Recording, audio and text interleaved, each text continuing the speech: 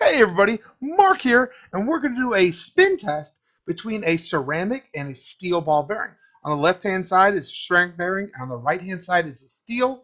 This ceramic bearing I bought off eBay for about $2 a piece, and it's the lowest cost ceramic bearing I can find, and it's an ABEC 9 rated bearing. On the right hand side is a standard steel ball bearing I bought from VXB.com, and it costs about 25 cents. I've seen some tests online and I want to do it for myself. So let's do the spin test. So while the fidget spinners are spinning, let's talk about what that ABEC 9 meant on the ceramic ball bearing. So the ABEC scale is designed to provide bearing manufacturers dimensional specifications that meet the standard of precision bearings in a specified class. There are seven classes from largest to smallest tolerances 1, 3, 5, 7, 9, 11, and 13.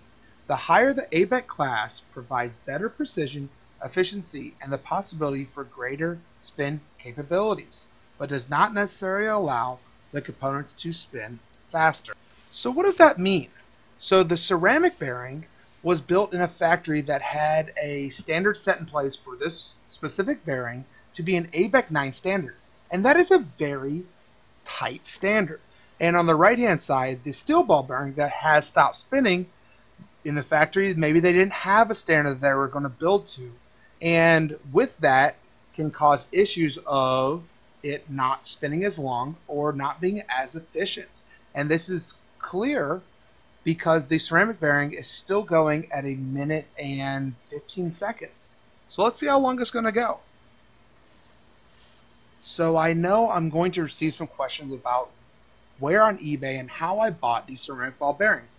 So all I did was typed in ceramic skate bearings, went to search, buy it now, lowest price, and this gave me the best prices for these ceramic bearings. Now, you can type in a lot of different words like ABEC 9 or, or ceramic skate ball bearings, but ceramic skate bearings gave me the best prices. And here's actually the ones I bought right here. I chose a five pack, and it's $10 and change, so about $2 a piece. Here's some more information about them.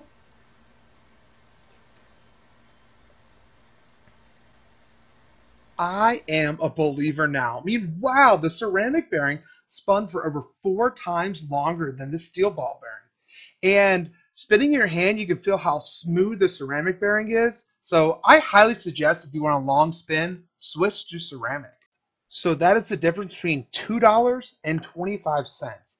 I am absolutely blown away by this ceramic ball bearing. I have them in a couple of my fidget spinners now, and I think I'm going to switch all of them out to this brand. So guys, if you have any questions or comments, please leave them down below. If you like this video, please subscribe and give me a thumbs up. And like always, spin on.